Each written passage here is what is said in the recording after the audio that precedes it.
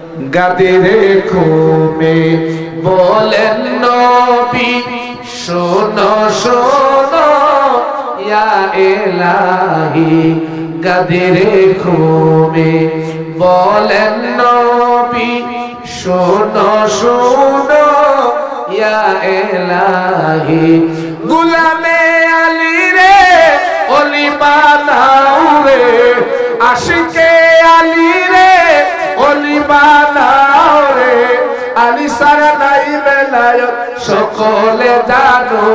হায় হায়, আলী সারা নাই বেলায়ত, সকলে জানো। আমি বলব, দুনিয়ায় ছিলাম মাওলায় আলীর লোক। আমি বলব, দুনিয়ায় ছিলাম। বলেন না আমার হাবা পবিত্র কোরআনুল কারিমের আয়াত, সূরা সাফফাত 24 নম্বর আয়াত। হাসরের ময়দানে যখন মানুষের হিসাব নিকাশ হয়ে যাবে, আল্লাহর বান্দা জান্নাতি হিসাবে বান্দার ফয়সালা হয়ে গেছে। আল্লাহর বান্দা জান্নাতের দিকে যাচ্ছে।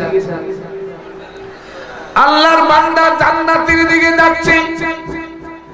যখন জান্নাতের গেট বরাবর যাবে, তখন আল্লাহ রাব্বুল আলামিন আল্লাহর বান্দাকে ডাক দিয়া বললেন এরে ফেরেশতা, আমার বান্দার একটু গেটের মধ্যে দাঁড় করাও।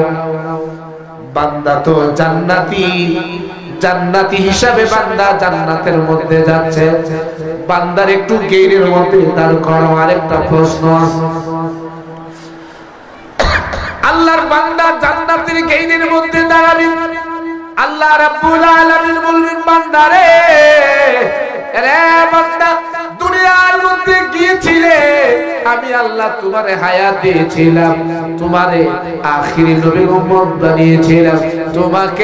আমার নবীর আহলে বাইত দিয়েছিলাম।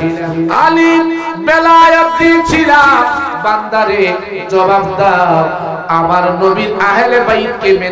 কিনা? এবং আলীর বেলায়েত তুমি মান্য করেছিলে কিনা? জবাব দাও।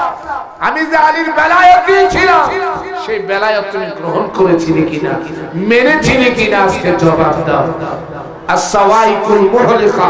আল্লামা ইবনে হাজার হাইসামি রহমাতুল্লাহ আলাই লেখেন আসাওয়াইকুল মুহলিকা ওয়াকিফুহুম ইন্নাহুম মাসউলুন। সূরা সাফাতে 24 নম্বর আয়াত। এই আয়াতটা পড়ে দেখুন তার মধ্যে। ইমাম হাইসামি রহমাতুল্লাহ আলাইহি লেখেন বান্দা তখন চুপ হয়ে যাবে। যদি বান্দা জবাব দিতে না পারে, যদি বলে, আল্লাহ, আমি যে পীর সাহেব হুজুরের কাছে মুরিদ হইছিলাম, আমার পীর সাহেব হুজুর আলীর বেলায়ত কি জিনিস সেটা তো আমারে বলে নাই। আমি তো জানি না, আমি তো জানি আমার হুজুরের বেলায়তের কথা। বাসার কোন উপায়? বলেন না, বাসার কোন উপায়? যদি বলে, শুধু আমার হুজুরের বেলায়তের কথা জানি, মাওলা আলীকে, ওনার বেলায়ত কি? আমি তো জানি না। সেদিন বান্দা আটকে যাবে? যদি জবাব দিতে না পারে, আল্লাহ পাক বলবে, ফেরেশতা এই আমার এই বান্দারে ঘাড়ে ধইরা জাহান্নামের দিকে ঘুরাইয়া দাও। সুতরাং জবাব দিতে হবে। মনে রাখবেন, জবাব দিতে হবে। আজকের মুসলমানদের এই অধমতনের কারণ কি আজকে মুসলমানরা দোয়া করতেছে, তাদের দোয়া কবুল হয় না। সারা পৃথিবীতে মুসলমানেরা নির্যাতিত, লাঞ্ছিত, অপমানিত। কারণ কি? কারণ আল্লাহর দেওয়া নাজাতের তরি পাকে পাঞ্জাতন মুসলমানেরা সেটা ভুলে গেছে। বলুন না ঠিক না আমি ঠিক? মুসলমানেরা ভুলে গেছে। মাতা কুমুর রাসূল ফাহুলু